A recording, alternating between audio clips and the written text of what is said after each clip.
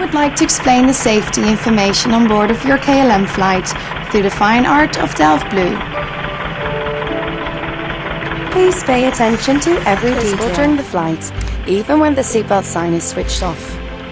To release the seatbelt, just lift the buckle. If there is a sudden decrease in cabin pressure, all equipment is removed.